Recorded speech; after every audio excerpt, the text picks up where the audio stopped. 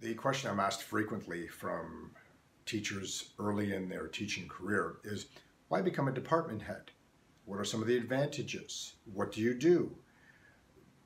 How do you get it? So, the first answer is you really want to become a department head to help in the school's leadership team.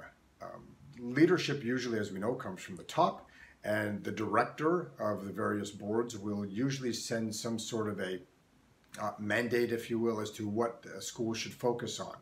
Um, usually it's something like diversity, indigenous studies, maybe literacy, maybe numeracy. This, of course, get, cascades down to all of the schools, to the administrators, and the administrators ask that we um, uh, infuse that into our departments. So you might become part of a school's culture uh, and personality.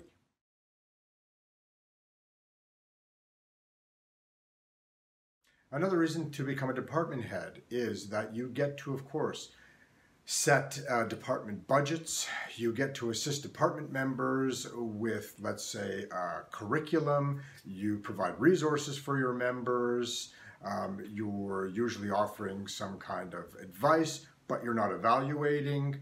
Um, you're also helping with things like uh, grade 8 transition nights where the grade 8s uh, for the f- current year come in transitioning to grade 9. Uh, you get to tell them about your program, tell them about your courses.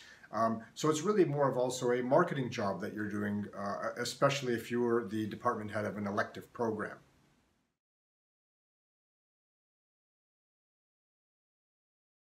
Many administrators usually end up uh, becoming administrators because they have first started as a department head if they so want to go in that direction.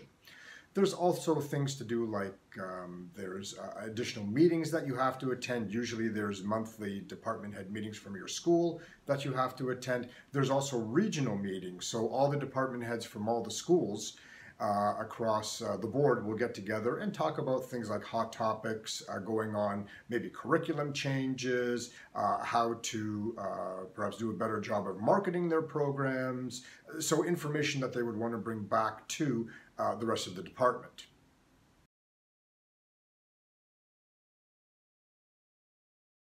in the spring when you're setting timetables, when the school is setting timetables, uh, you basically get to um, help decide, uh, or not decide, but of course you suggest, uh, who is going to be best suited to teach which course uh, within your department.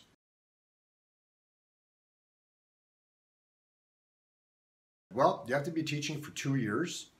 Um, and in your uh, schedule, uh, you would have had to take at least half of those two years would be in teaching those courses that you want to become, uh, get your uh, your qualifications in.